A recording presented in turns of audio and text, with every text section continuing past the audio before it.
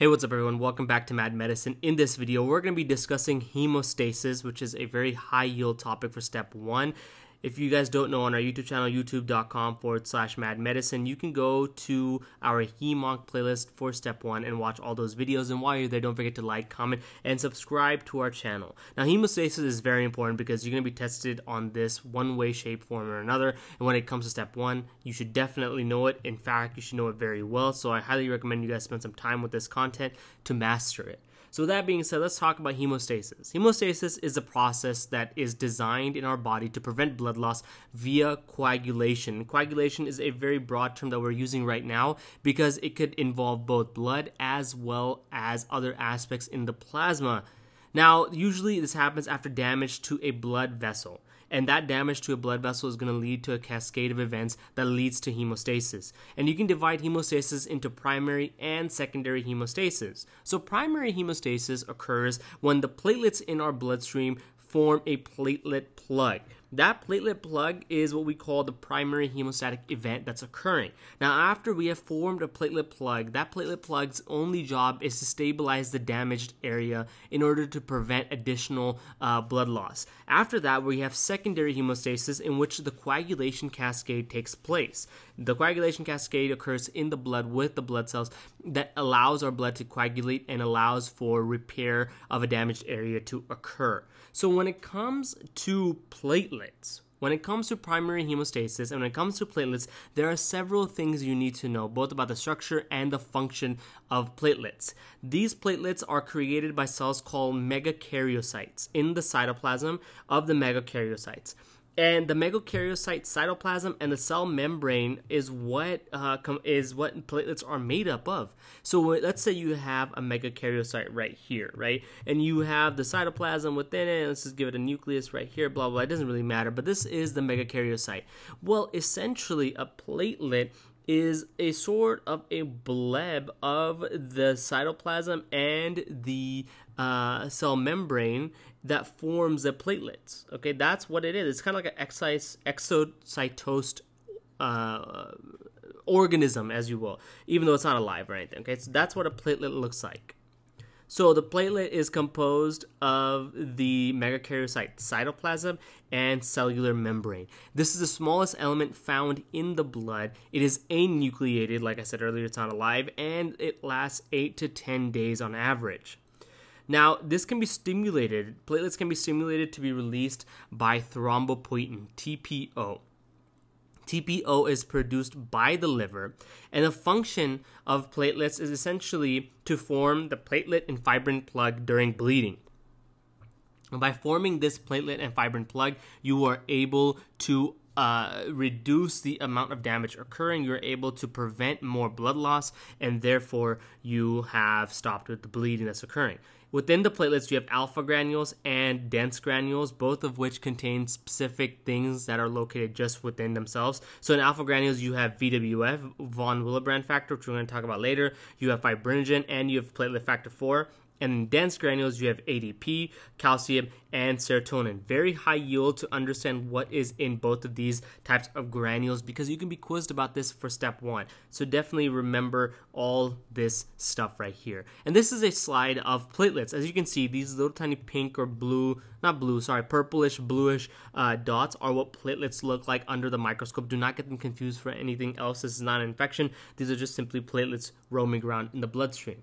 So, when it comes to primary hemostasis, there are several events that have to occur in order for primary hemostasis to take place. The first event is injury. When there is injury to the blood vessel, you are going to activate the coagul- the primary hemostasis uh, cascade after injury, you uh, expose certain factors in the blood vessel, in the subendothelial layers, and that exposure leads to adhesion of the platelets. Now, once the platelets have adhesed, that is going to activate platelets.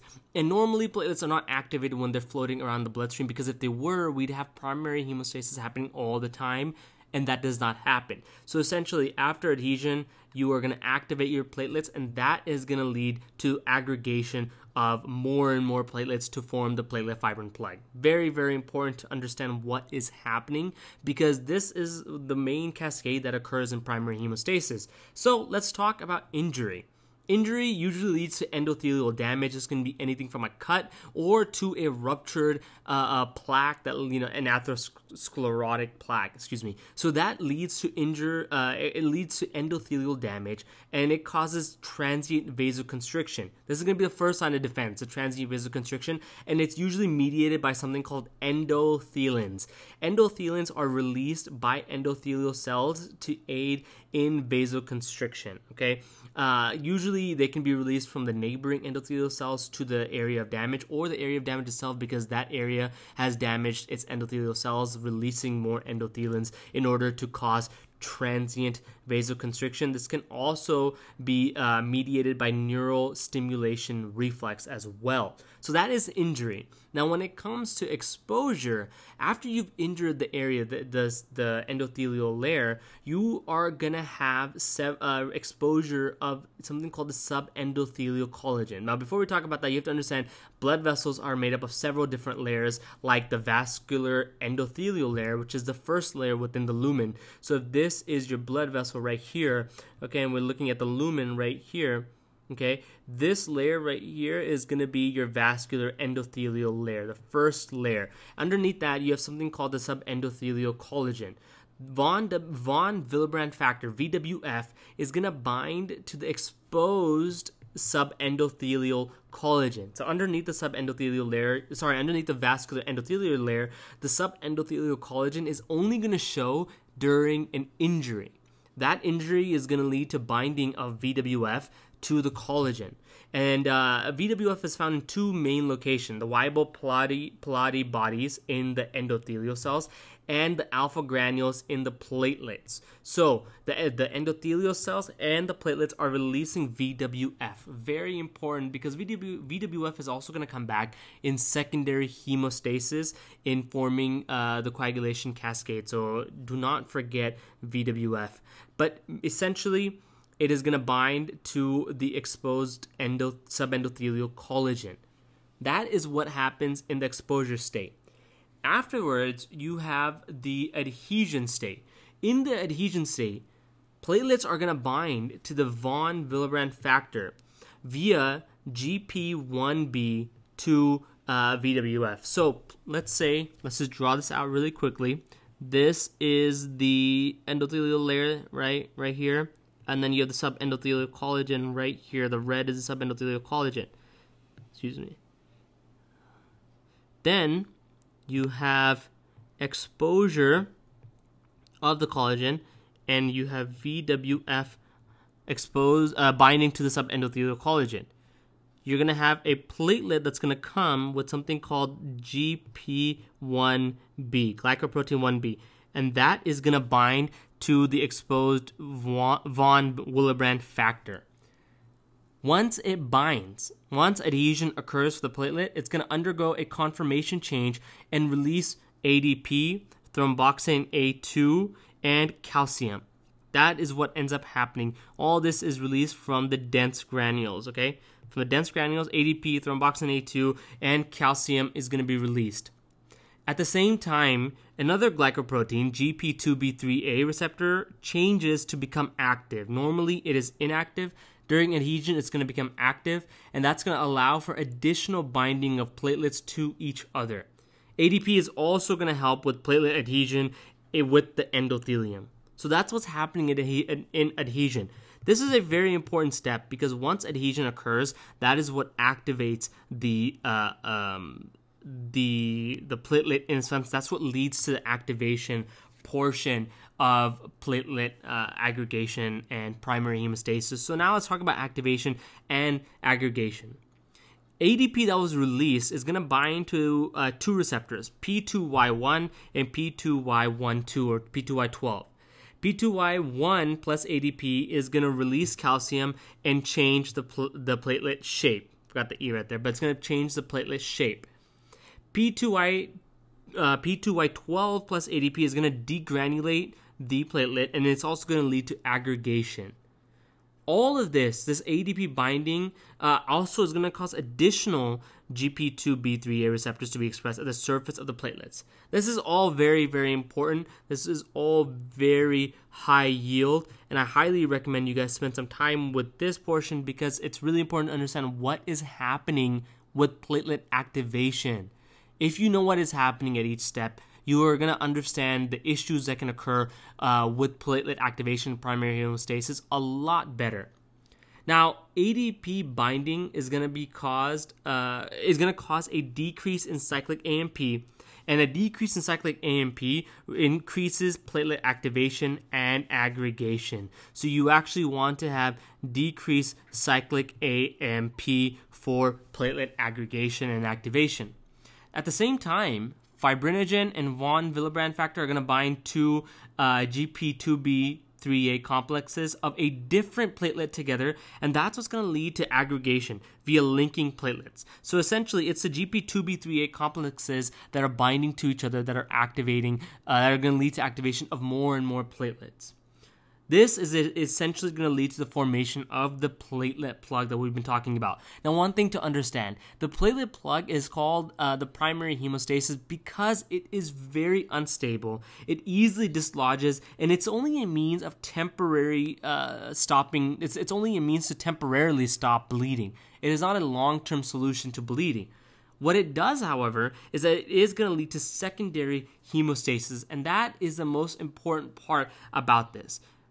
Primary hemostasis is only there to prevent bleeding from occurring for a long amount of, for a short amount of time enough so that secondary hemostasis can occur. So let's just review all this really quickly so you guys have a good understanding of what is happening. Essentially, number one, you are going to have an injury occur. An injury is going to lead to exposure, right? Exposure of what? That is the subendothelial collagen.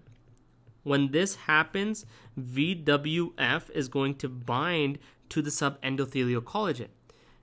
That is exposure. Then, after exposure, we are going to have adhesion.